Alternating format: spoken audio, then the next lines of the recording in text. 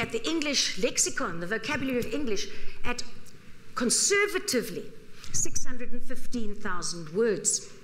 So we're going to ask the question how did we get this enormous vocabulary? How does it compare to other languages' vocabulary? How did English come to be the English that we know today, that is the dominant global language? So, we're going to first look at what the linguist Geoffrey Hughes has to say.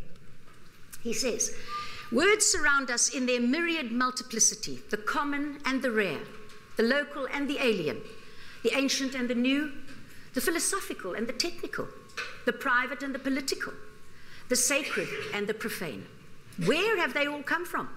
Which at last count amounted to more than half a million words. Well, in actual fact, there's uh, an alternative view to this. Do we really know how many words exist in a language? And there is an American uh, um, society called the Global Language Monitor. And they, a couple of years ago already, said we have passed the millionth word in English. So if you're interested, unfortunately, I can't get to this. Um, to the uh, blackboard, but you can go on www. Just it's very nice to, to look at this. Dot language monitor, all one word. Dot com. And then you can listen to the, the, the story about this millionth word, weird word that it was too. All right, so Geoffrey Hughes is telling us that he's kind of going according to the Oxford English Dictionary that 600, now mm, say 650,000 entries, more than what he said, 615, but let's take his conservative uh, uh, thing first. We look at other languages because how did we come to be this top of the pops, this top of the pile here? English, okay, we're going to take the conservative 615,000 words. Japanese, 500,000. Chinese, 370,000. Dutch, 430,000. Italian, 270,000. German, 135,000. French, 100,000. And Spanish, 100,000. Oh, this would knock the French. You know, there's always this, oh, so different, so French. And they're so linguistically proud. They don't want any, anything uh, uh, infecting or affecting their language. These other languages, these languages are certainly changing because of the globalization of English. You are finding the French are starting to borrow words as English is so, we will see, such a, a great borrower. The Spanish are starting to borrow words as well. So we're watching, their vocabulary is going to be growing, but it's going to take a long time to catch up to where we have got to. So I'm just going to look at why do we say English is the global language now? What makes a language global? This word itself, the, the phrase global, the global English, the global language, actually only came into being about 30 years ago. The first books written about global English as a, as a topic, only 1990s, early 1990s. So, so, this notion, what, where does it come from? What makes, makes us able to say we are a global language? First of all, English is the most studied foreign language, which shows it's going into pockets all over the globe, making it global. English is the official language of aeronautical and maritime uh, communications.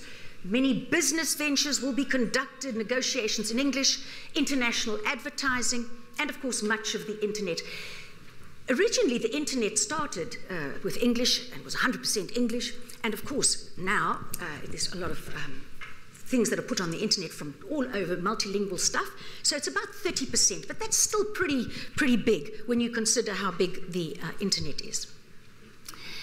English is the official language of the UN and other international organizations. When we think about uh, the UN being, uh, coming into being in the 1940s, there were 50 countries at that time. Now there are more than 200 members of the UN. Nations, countries need to talk to each other. They come from different, they have different cultures, different languages. So, how do you talk? Where's the common ground? So, English, the standard English, the English that we would consider as the English of the written word, the English of um, negotiation, that's our standard English, no dialects there. Let's look at the stats. Stats are very nice. I'm not a statistician, but I always love these things, you know. So, at the moment, we're looking at as uh, mother tongue speakers, the US, the UK, the etc. stands for um, your Canada, your um, New Zealand, your Australia added into the mix there, where it is a mother tongue uh, language. Mother tongue would be meaning that it is the native language of that uh, person, that, that group. If I could just have got to there, but I will just tell you the first Latin word that I'll introduce you to. I'm sure some of you have done Latin. How many hands up? Latin? Yay! Wonderful. It's a sad indictment that uh, actually we, we have very small classes of Latin, but it's a wonderful, wonderful thing that people are still interested in words and doing word power and origins of words from Latin and Greek. Anyway, the first Latin word I can tell you and remind you of is the word nasci natus, which is to be born. So when we talk about the native, I am a native of Cape Town, I am a native speaker of English, that would mean it is the language that I was born with, it is the place where I was born. So we talk about mother tongue speakers, look at that, 360 to 400 million. Then we're adding to that second language speakers. English for them is a second language. You're looking at uh, 150 to 300 million. And what we will see a little bit later is that um, when countries, peoples, uh, adopt a language as, say, a second language, they also adapt it. So we have the Indian English changing slightly the grammar, slightly the pronunciation an Indian uh, speaker is going to say, I am going to the shops. Now, we will all understand, I am going to the shops. But they will put their own spin because they want to adapt it, they want to have some sort of identity. We've done the same with South African English. We have our own little notions of um, go to the robot, turn left, People say, what, what, what is this robot? right, what are you talking about? You know, we've got our own identity, we have our own pronunciations as well, and this is what happens around the world. Singaporean English, you've got Australian English, New Zealand English, and we are basically talking about, well, even, even in the UK, how many, how many varieties of English would you find there? Liverpudlian English, you know, there's all sorts of things. So when I'm talking about English we all understand each other. English we can understand. Then you're looking at third language, where English for these uh, countries, these peoples, would be a third language. They, they, have got other interventions there.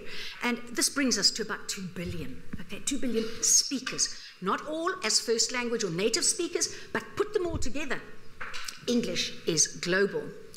We look now, I said first of all that uh, English was, is by far the most studied language in the world and we compare it, we've got one and a half billion, conservatively, learners of English as a foreign language. One and a half billion, eh? Look at French. 82 million studying French. And it's such a lovely language, but it doesn't come anywhere close to people wanting to speak English. Spanish, 14 and a half million. Italian, 8 million. Chinese, 30 million. German, 14 and a half. Japanese, 3 million. It's a very hard language, that. All right, so now before we get onto words themselves, and I know you all love words, I know that's why you're here, and we're going to see where did English, this language, which we've just seen has become the global language, where did it start? How did it develop? So we're going to have a little look at that. I'm looking, I'm not going to take you all the way back to Proto Indo European and blah, blah, blah, blah. Okay, I'm going to look at the important historical and uh, cultural events that have impacted on our English language. So we're going to, we're going to start with an invasion. And we're going to see that actually so much of the linguistic development in English was as a result of invasions on Britain. So we are, we are leaving the shores of South Africa for the moment. We are going to Britain, which was called Britannia. And the uh, inhabitants of Britain were the Celts. They had 350 BCE, migrated from Europe and landed in this lovely, lush um, place which is called Britannia. And they were called the Britons, okay? They were living very happily there. Yes, very nice. And what happened? Oh, well, the Romans, Roman Empire was growing, expanding, its powerful, powerful empire. This a Roman occupation, first of all, and another word if you're interested in words, occupation. You know, we're talking about what is your occupation as a profession. No, no, no, no, no. When you talk about occupations, from Latin occupare, to forcibly seize. So we're talking about the occupation of Britain. The Romans come in in 46 AD and they colonize. Oh, it's such a dirty word now, isn't it? Colonial, colonialism, colonize, ay, ay, ay. All anybody wants to do is do decolonization. Anyway, let's just take it and make it neutral. the word colonize comes from a Latin word colere, meaning to inhabit or to cultivate. And a colonus was a farmer. So they came in very uh, sort of uh, militaristic, of course. They're going to take power, but then they colonize Britain. They leave people there. They leave the settlers there. That is what co- colonization is about. You leave settlers. And what do the settlers do? They bring their language, they bring their culture, and they impose it on the peoples who are there. Because actually, we're the boss now. See, that's, a, that's how it is. So the Romans came in. Strangely enough, I mean, the Romans had been in before. Big Julie, Julius Caesar, he had uh, invaded Britain in 55 BCE, um, but he didn't stay. He had his battles and off he went back. There were pressing problems back home. Anyway, so this is the important first, second invasion of uh, Britain, and it lands up that the Britons, the, the Romans stay there, called Roman Britain, they stay in Roman Britain uh, right until 410. As I say, they impose their language, they impose their culture. Now, Commercial dealings will be done in Latin. Hmm. We will have Latin as the language of diplomacy. Latin will be in the schools. Well, of course, the schools were, were very narrowly um, um, afforded only by the, the rich, etc., and the boys. So, but the language of scholarship, Latin. Okay.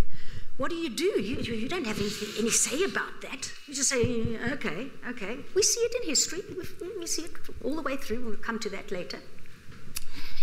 The weird thing for me is that they were settlers for a long time. So we're talking about settling, bringing you in. You're a soldier. You, you set, you've got to go and stay over there, and so you bring your family across, and then you have children, and the children have children. So the people become assimilated. They actually become Britons themselves. So when the Romans withdrew because of pressing problems back home now, as the empire was having a lot of difficulty um, holding its borders, you would have thought that there would have been hundreds of words of Latin origin that stayed behind because linguistically, Latin had been imposed, and what people do is they anglicize, well, not anglicize it, they, they sort of worked with it and mixed it with some Celtic words, and you'd have thought that there would be hundreds of Latin words of Latin origin. no, in fact, definitely not more than 200, but of, of um, common words that stayed in, that have stayed in our English, no more than a handful. And that's weird. So I can't call this a, a really important invasion, but let's look at what, what happens. What do, what do the invaders bring with them? Ah, they want the food that they like, for sure. They want the drinks that they are used to. And so they bring in their food, they bring in their drinks. And of course, the Romans were great road builders, they were uh, castle builders, and so on. So let's look at the, the words. So the original inhabitants were the Celts. The Celtic languages, as they developed, are now Welsh, Irish, or Scottish. How did, how did they get to be so different? From either English, Latin, what, what, what. We'll see that as a response to these invasions, those Celtic peoples who did not wish to assimilate with the people who had, had uh, invaded them, who did not want anything to do with it, they moved northwards. They took their language with them and they separated into groups. And geographical dislocation causes building up their own dialect, their own language. So that's why you've got this. People down in South London are not going to understand somebody speaking Welsh. No, not at all. I wouldn't either, actually. All right, so very few words of Latin origin survive. Ah, the first one castra, a camp. We will see in this, we, we obviously try, what, what happens over time is an anglicize, anglicization of words. From castra, we get place names. Castra means a camp. So it means that if you've got some a, a place that's got a chester or a castor as a suffix, you can be sure that there is a Roman fort, ruins. Go and ask them. Would tell show me where's the Roman ruins. Okay? So Winchester, Lancaster, Doncaster. We know Romans were there. So they left that behind. The word strata, meaning street from stratum, level.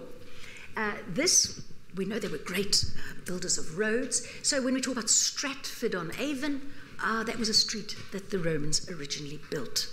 And Avon, we'll see, comes from uh, a word meaning river. Not, not a Roman word. Caseus, here comes the foodstuffs. You know, when, when, when when you go somewhere, oh, you're to, let's say you go to Italy, you want to eat Italian food. Oh, lovely, it's something different. But you've been away for quite a long time. You come back, and the first thing you do is you have a braai because you want your own food back. Okay, you want you identify with the tastes and so on. So caseus, meaning cheese, they took that word, and it's it's corrupted over time, of course, to the spelling that we know today. But when we look at the etymology, that's where it comes from, thanks to the Romans. It's very weird that the British, the, the Celts, had cows. They knew about milk, but they actually hadn't figured out this cheese story until the Romans came. then we look at butyrum, butter.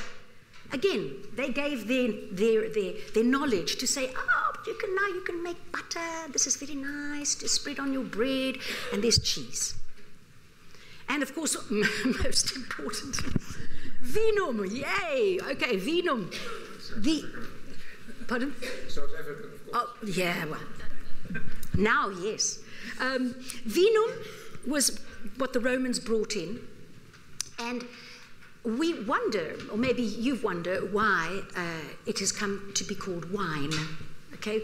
Because we've got the Latin phrase in vino veritas, okay, which is truth in wine. Be careful what you say when you've had too much to drink. You can give a lot of family secrets away. You can trash the name. So, but in actual fact, if I were teaching you Latin, the V in Latin was pronounced W. So it would be in vino veritas. So when the Romans came and said, Oh, look what I've got a present for you, and here is some vinum. And they said, Oh, it's lovely, thank you. So we'll have wine then. So it was wine. That's where the W sound comes from, our Latin. Discus, a dish, obviously, uh, we see that in, in, in sport, the the discus, in throwing the discus, it's a dish, you know. Uh, but that's where the word comes from, softened uh, through now to English. All right, so now the Romans have gone, gone back home. and the Celts are so excited. We can take our language back, we can take our country back. I'm so pleased about this. And they just relax. Oh boy. Britain was too attractive to other places. And we have an important period. This is the sort of uh, very important period in the development of English and uh, giving us the classification of English as we will talk about now. This is the Old English period, also known as the Anglo Saxon era. When we talk about Anglo Saxon, we usually talk about the whole culture as well as the language, all of that. Ang- the Old English is talking about the type the, uh, more linguistically speaking. So 450, ah, they've only had 40 years of peace, man.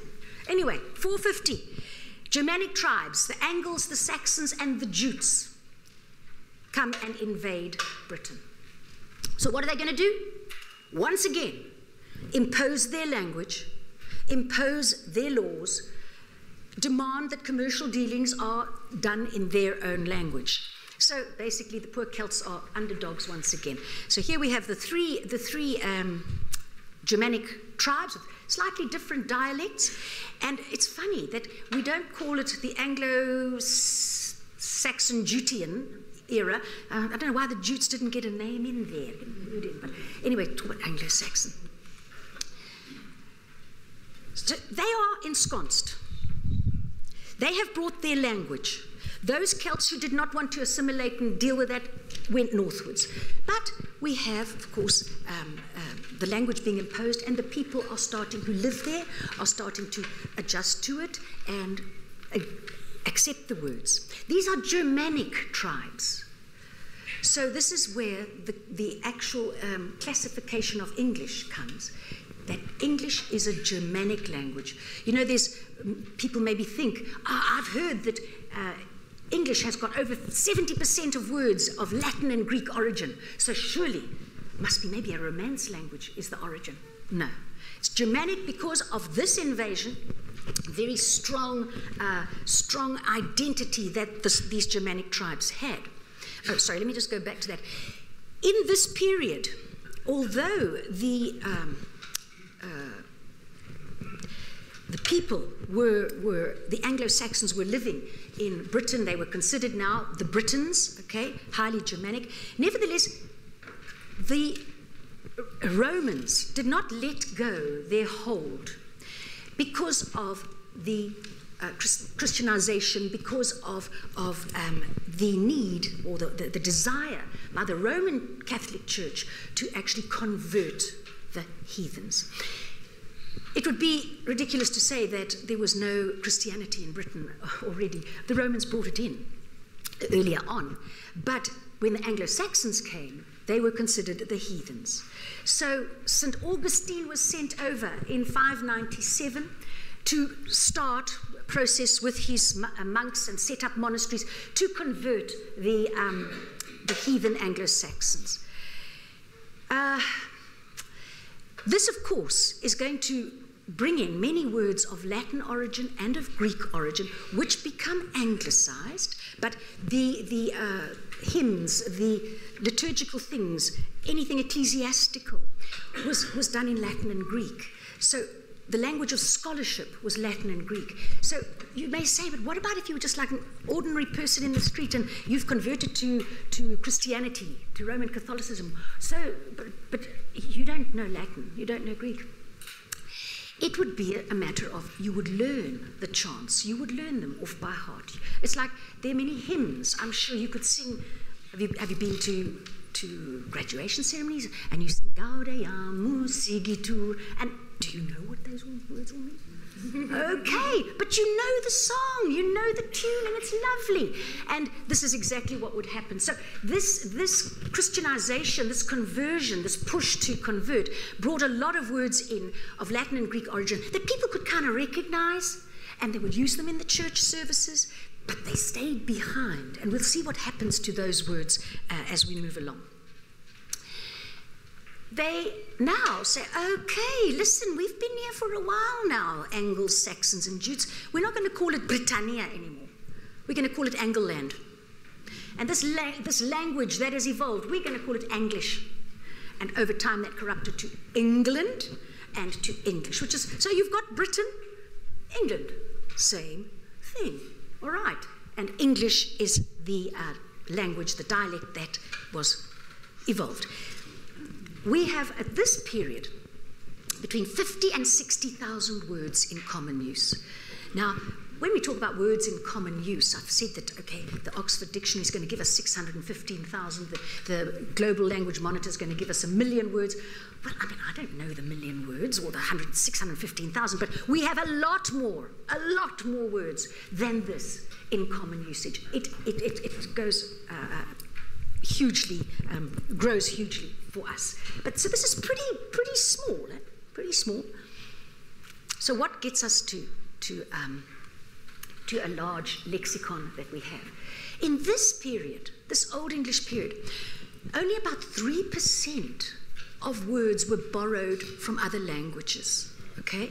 Because there wasn't that huge drive for colonization, okay? We've had the, the Anglo-Saxons and Jutes coming in, but people were not borrowing from, from all over the place. Okay? Only 3% of the words, so pretty linguistically insular. Another invasion occurs, which is kind of, I, I, would put them almost together. It's the Viking invasions of the 8th and 9th century, because the, these invaders come from the Scandinavian countries, and that's also, if you were looking at family tree of languages, they also fit into the Germanic group. So, so there's a kind of a, an identity there. But they bring in words of, of their own too. So Britain is once again invaded, and they bring in words from Old Norse.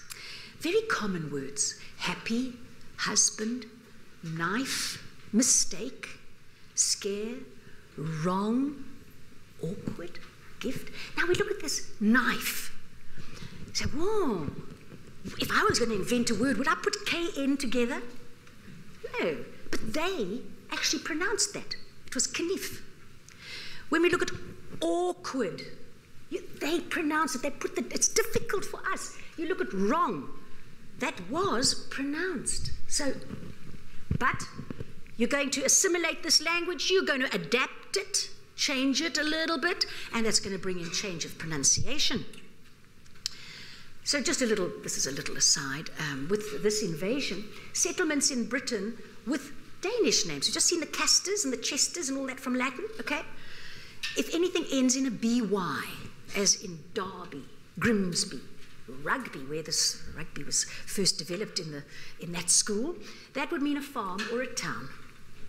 So the town of Derb and the town of Grims. Thorpe was a village. So you've got Althorpe, Linthorpe. Thwaite is a clearing. Braithwaite, Applethwaite. There's a farm out, out in Elgin called Applethwaite. I've been there. Guess what they grow? Apples, right. Anyway, so there was obviously it was a clearing and they go, uh, grew apples. So personal names as well from the Viking era, son or son uh, meant son of. So Davidson, Jackson, Henderson, Those coming from our Viking invasion. Oh, now we come to a very exciting, not only an invasion. I shouldn't say invasions are exciting, really. But anyway, it, yes, there's an invasion going to happen, but also linguistically, culturally, a huge, huge um, impact here on the English, which has been given to us or developed via the Angles and Saxons, the Germanic tribes. This is called the Middle English period. So we've had the Old English period, now we've got the Middle English period. And it begins with the invasion by the Norman French, 1066. What was that battle? Hastings, yes, I love your history, yes. Okay, 1066, Battle of Hastings. King William, who was subsequently called the Conqueror, the epithet, the Conqueror, because he conquered, um, King William I invaded Britain, and he had that whole thing with Harold, you know, shooting out the eye. You know, Harold, Harold is, is no, he's, he's out. The English kings are out. So, King William is the conqueror, and as, as is wont to happen, you're bringing along into this country. You are the conquerors. You impose your language, you impose your laws, you impose your rules about schooling, all of that. Okay? They bring this in. The French, the Norman French. In this period, hundreds of words of French origin flood into English. And we're going to see, of course, they will become anglicized. But what William the Conqueror does as the king, he says French, not Latin. French will be the language of instruction in schools, Latin for the scholarly, all right? So you could still do Latin, very nice to be bilingual in those times. He says the language of diplomacy will be French, language of business will be French. Okay? So French is very, very powerful. But we have to give King William a little bit of credit here. King Willie says, uh, in French, of course, I want to learn this language, English. And he tried, and he tried. He was 43. I don't know, maybe 43 is a bit, when you get older, it's difficult to learn a new language. I don't know, I don't know. But you know, he tried and tried until eventually he threw up his hands in typical French fashion. Oh, no, no, no, no, no, no more. He said it was too difficult. So he insisted now everything had to be French. Might have been different had he found it easy to learn English, but no, no, no. And it is said in this period, or the period of the French kings, that they, they did not communicate in English at all. They were now not interested. The only thing that they ever used in English was swear words. That's all, just swear words. So it is the, the, the, the, language that is compulsory in schools as well. Latin remains the language of scholarship because Latin is still the language of the church. And as I say, in the schools, it is the language of uh, scholars.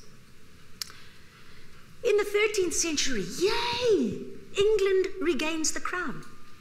They've got their their country back. Okay, but of course, at this time, you, as happened with um, the Old English and even the Roman invasion, you've had assimilation with uh, families staying, settling, becoming assimilated to England. So you have, it is said that there were some um, of the nobility who actually spoke in English and learned French at school, although their origin was, their family history was still French. That is how much they had assimilated uh, at, at, this period um, in the 13th century. So we have England regaining the crown. What are you going to do first? What are you going to do? Say, hey, hey, hey, I don't want my children to be doing French. We are English. We want to learn English at school. So English is reinstated as the language of the masses, the language of school.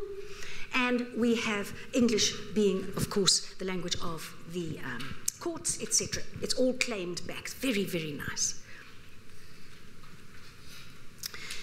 Big, big thing happening here, too. So they've got English back. Okay. Latin is the language of scholarship. What do people read? These scholars, the learned ones. What, what, what literature? Where, where's the literature? It's going to come from your Virgils and Caesars, the Latin texts. It's going to come from Greek texts, Homer, Hesiod. Where, where can the masses, where can people read anything in English? They've got to rely on the importing of the literature that we respect very highly. They've got to rely on that. So, in walks, or in comes Chaucer and his Canterbury Tales. Langland, Piers the Ploughman, and they write in English, in the mother tongue. And suddenly, literature, stories become accessible to the masses. Not that they could all read, okay, not that they at this moment could read, but they could listen to the stories. They could have the stories told to them in their own language. So there's this growing kind of nationalism. God, we're seeing that around the world, aren't we? Growing nationalism, linguistic pride, linguistic pride in their language. And they're so happy. We've got our own texts. Yay! We have problems, though, uh, in the area of grammar, in the area of spelling, okay, and in the area we'll see of pronunciation, okay. So, just to take you back a little little moment, English is classified Germanic language.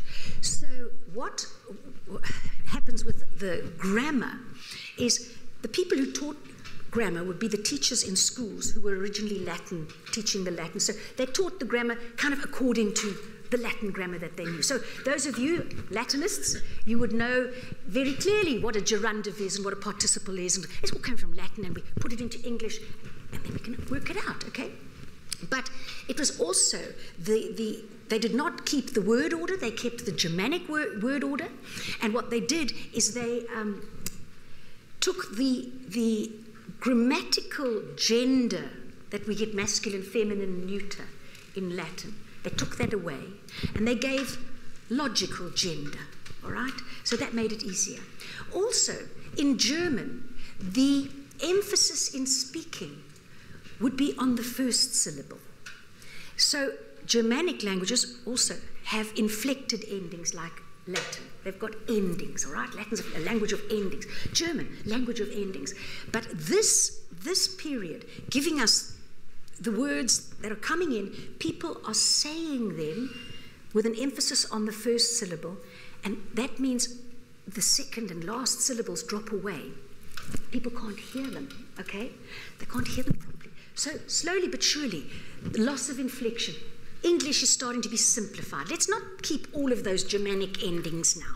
Let's simplify it. You know, let's, if it's going to be plural, let's make it S or ES or whatever. I've got a few tricky ones, but yeah. So there's coming in a simplification of the inflected business. And then this thing here pronunciation, the great vowel shift. Now, it's a, it's a, it's a topic, if you're um, a linguistic person to study. You could study this as a topic for a long time. The great vowel shift. It, it's exactly what it says. For some reason, the vowels shifted in their sounds.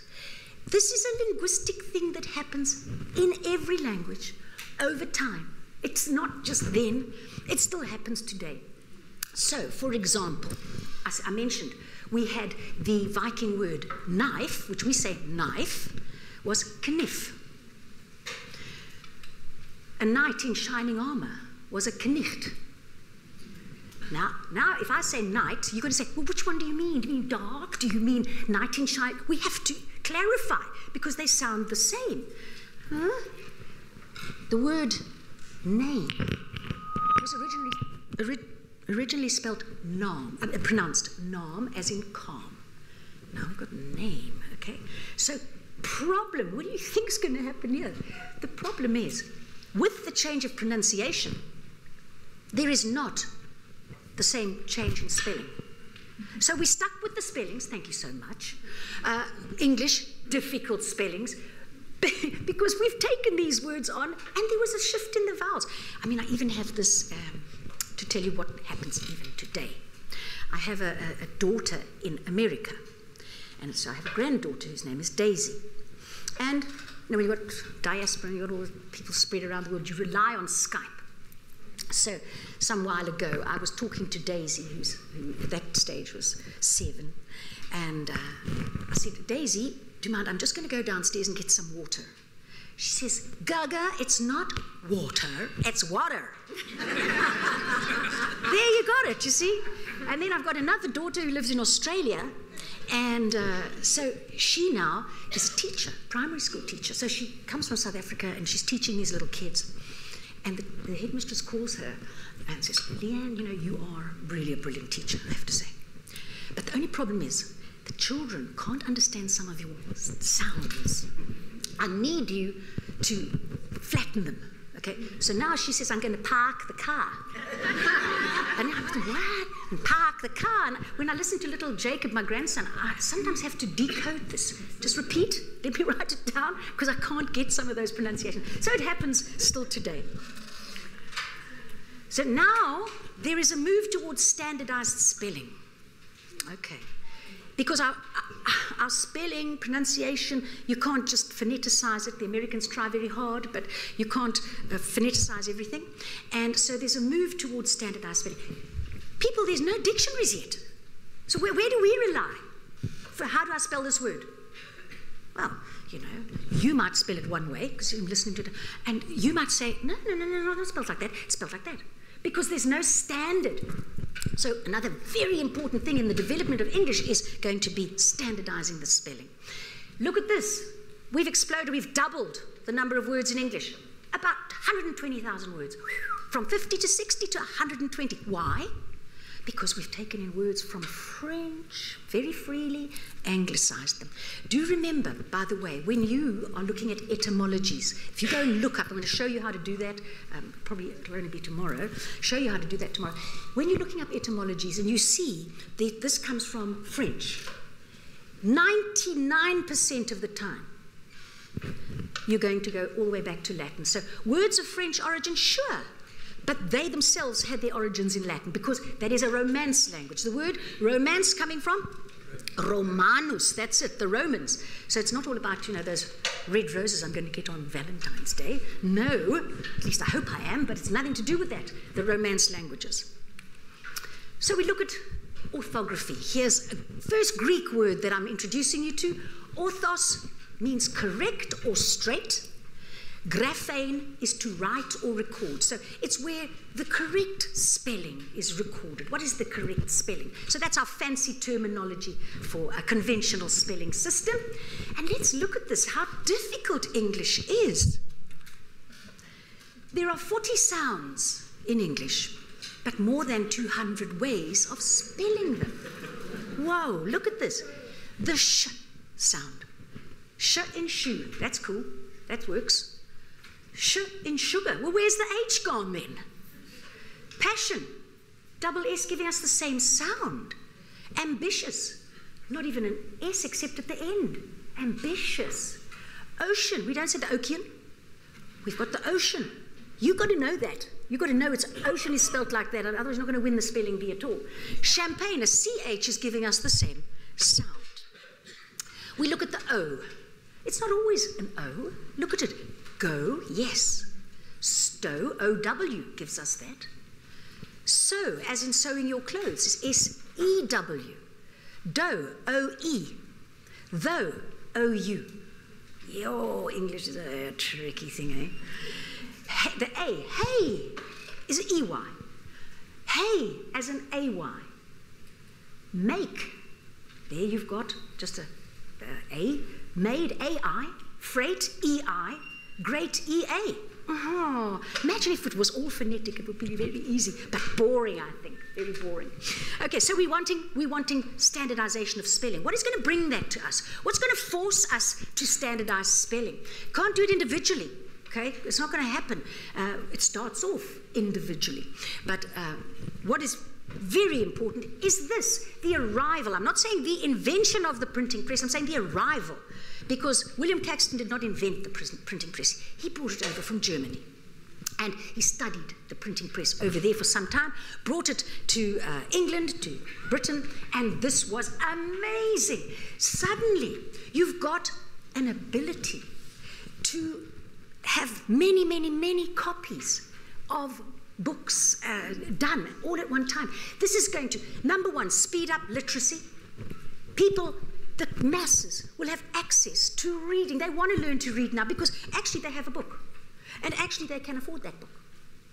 Books were expensive. Why were books expensive? Because they had to be hand copied by copyists, by scribes. In Latin, scribere, to write. And I think I have to show this to you. Moment, please. Wait, we want to go up. Projector screen now. Hmm. I want this thing to go up now. Martian! He's from Mars. Oh, lordy. Okay. Backlights. No, no, no. I wanted to show you the origin of the question mark. Ah, dear Lord. Mm. And in fact, there's no chalk either. Will you remember? So I'm not going to tell you the origin of the question mark. Okay, you remember tomorrow, first thing? Okay, and I will make sure that I have chalk and I can get to the board. Okay, so the arrival of the printing press, huge. Introduced by William Caxton, yep. And this accelerated literacy, fabulous, fabulous. Because we do have some, wor some works now in English that people, the masses, want to read. This is going to give us the impetus, the force, forcefulness to, to go on and standardize our um, spelling and our punctuation, and uh, there was really not much punctuation at that stage. All right. Uh, now, hmm. can we go on a little bit longer? Because I know you've got 15 minutes. Can we carry on? Okay, because I've been told I must stop and you must have questions. Okay, right. So, we're going to go back to that word, that Latin word I gave you, nasci natus. What does it mean?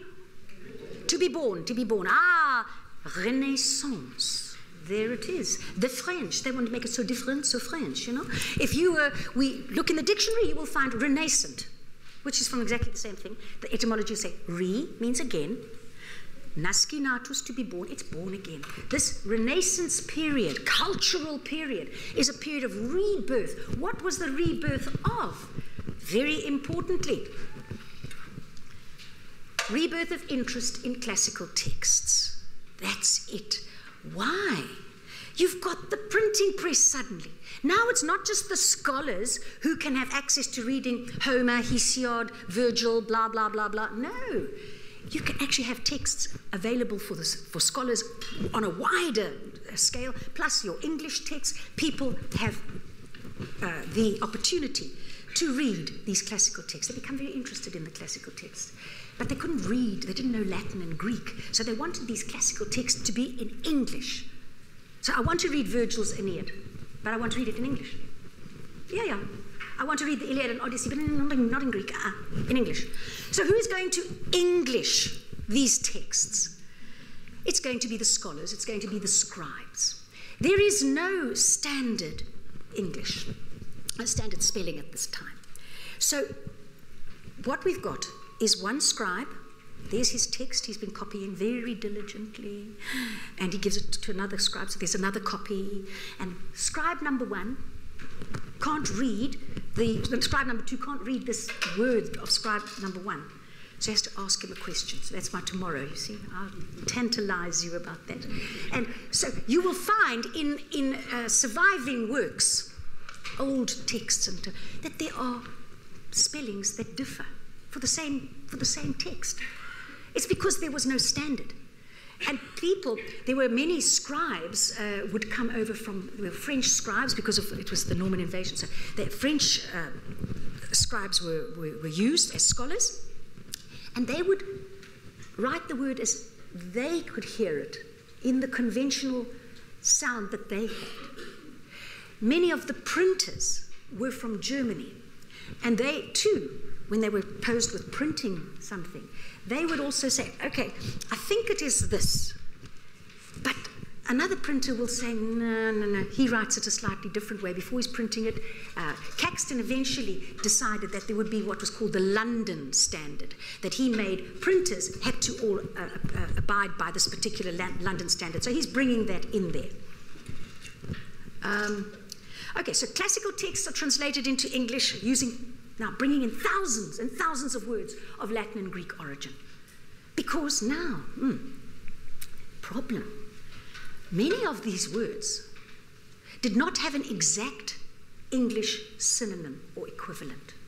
So you've got the, the, the scholar who is tasked with translating into the vernacular English, whose vocabulary, whose lexicon was not as vast. So what are you going to do? Well, you're going to simply English the word. In other words, make it look English. And the way we make things look English, take off the ending, put an anglicized ending on there, and then you can keep that word. And yay, we've got a new word. But this caused a terrible controversy. Because the people who were now so proud of their English heritage, the English language, they were the purists. They wanted to keep the language pure. I don't want these new words. If you can't find a word in English, in the English that we've got, then don't use this foreign type word, okay? They were the linguistic purists. And they were opposing the neologizers. Another Greek word, neos means new, logos is word. The neologizers loved to bring in these new words. They said it's enriching the language. Thomas Elyot, yes, we must bring in all these things. But there was this thing called the uh, um, Inkhorn controversy. Okay? So this is what uh, was written about it. There was, in fact, a conscious effort on the part of many writers and scholars to enlarge the vocabulary of English and to make of their native tongue a means of communication to rival Latin. They were happy about this. The spread of education had produced a literate but semi Latinless public for whom translations of Latin literature were made. Anyone familiar with the process of translation will recognize that it is natural to translate a word with a word like itself. Often, the native equivalent does not occur at once, or there is no native equivalent. And rather than go through the whole long periphrases, the translator simply Englishes the Latin word. And so this allowed for thousands of words to march into the English vocabulary, which have their roots in Latin, and which will, of course, be the base to which we're going to talk about this percentages of uh, words of Latin origin. English purists try to introduce words like this starlore. Don't, I don't want astronomy coming from Greek. Starlore. Speechcraft eh, instead of grammar. Inwit instead of conscience. Unquicken instead of accelerate. Gain rising instead of resurrection. Forsayer as a prophet. It's kind of reasonable, that one. Birdlore, as in ornithology. They preferred birdlore. Uh, forsook to absorb. So we have taken all of these words astronomy, resurrection, prophet, ornithology we've taken them all and we have accepted them into English. English now becomes the greatest borrower of all. And we just a little aside before we finish off there, we're almost up to one more thing I want to show you, is that for linguistic pedants, kind of like myself, I suppose, um, there's a similar controversy happening, and I don't know how you feel about it, but I think we've got to embrace it anyway. Is where people say, oh, English is being corrupted by all of the social media and the Twitter and the this and the that, all what's happening, all these things are coming in. Yes, you see, this is what's happening. English does not stop changing. English today in the 21st century is still bringing in all sorts of things, creating, but that is what its strength is actually. So we will end on this last little bit here. Who's this fella?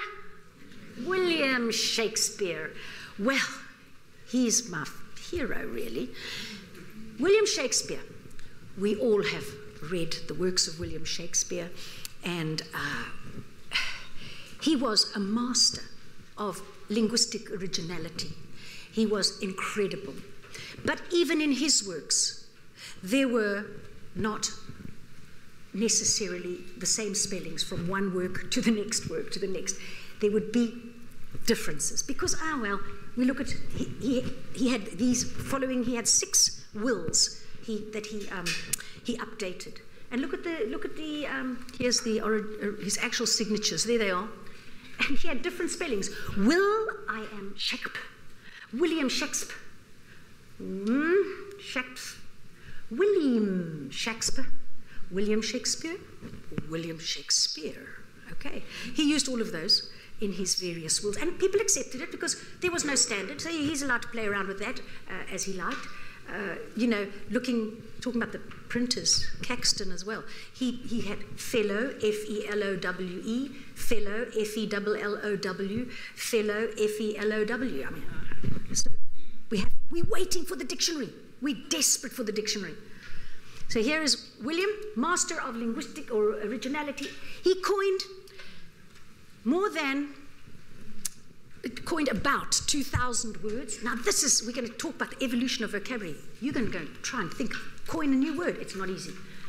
2,000 new words, words that had never been used before or in that grammatical function before. It wasn't only just new words, sometimes a grammatical function. That was William. He used about 30,000 words. That's a very strong base of um, showing education. Let's look at some of his words. We'll end with that. Accommodation. Ah, clearly, when I look at accommodation, I look at uh, that is Latin based, yes, premeditated, Latin based, Latin based, Latin, uh, um, Latin based, Greek. So he knew some Latin and Greek. He wasn't a big scholar of it, but he created words using the base thing. Assassination, he knew it comes from um, Arabic, but it was only assassin. That was all that was available at that time. And he made a different noun. Barefaced, countless, courtship, eventful, fancy free, premeditated, generous, critical, inauspicious. So, not all of these, the words he created stayed. I mean, when you read Shakespeare at school or at varsity, you were often reading it with um, the annotations because you come across a word and what the hell is that word? I don't know that word. You need it because those words dropped out, became archaic. So let's look at some of the dropouts. Abruption, exsufflicate, persistive, unplausive, protractive, propugnation, mistempered, outvillained, irregulous. So these are words that did not see their way clear to, to say, staying. And of course, he gave us many wonderful phrases. All right, we will leave it at that because you need a little bit of maybe question time. They tell me I must have some question time. So we'll pick it up tomorrow. We will be talking tomorrow about the uh, second very huge impact of um, upon language, and that was the King James Bible. And then we're going to move on uh, to other historical things and then after that evolution of English vocabulary, words per se. All right. Any questions, anybody? Yes? You told us about the number of words in different languages. Words are there in African languages like Xhosa? Ooh, now you've got a good. I should have included that, but now I don't know.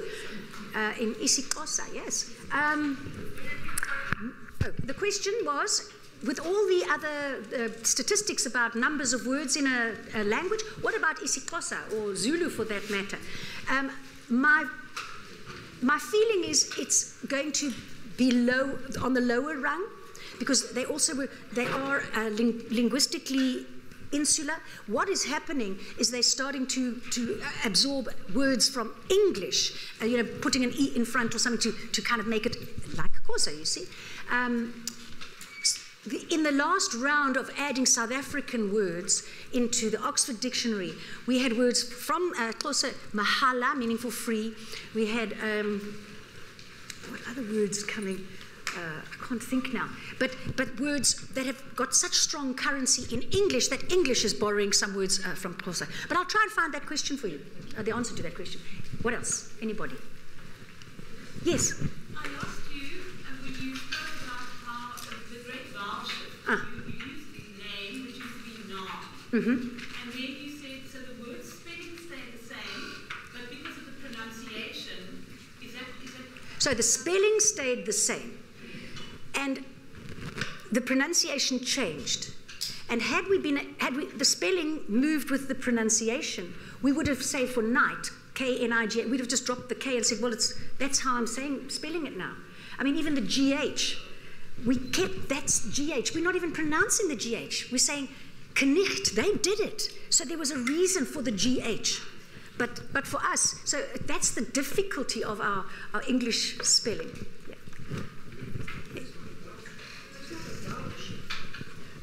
In the E.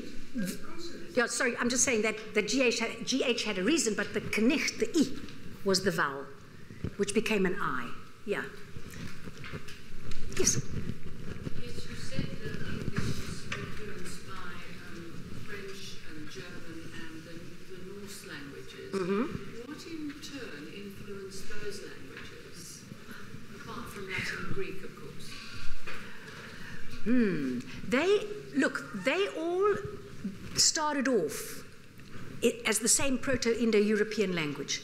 And then some groups migrated to Europe, some groups migrated to, to um, India. And the geographic dislocation forced them, caused them to change the language that their parent language, and when they went to different places, they made their own identity. So uh, all I can say is they were influenced by that Proto-Indo-European, and then they developed each of those three groups slightly different dialects, and the same with the Vikings, slightly different dialects. But when we put them under what branch of language are we talking about? What, what family do you belong to? It's, those are all Germanic. Afrikaans belongs to Germanic as well. Dutch belongs to Germanic. Okay? Okay, sure. Yes.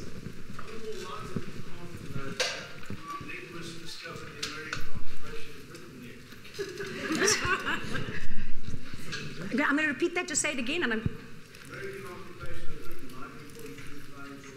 Yes. We, I'll tell you where. You mean linguistically forcing changes upon us at that period?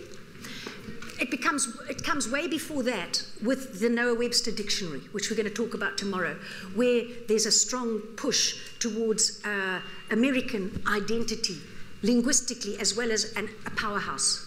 So, yes, in, in, in, the world wars and things, globally they would be interchanging words and, and uh, would come into, into too. Yes?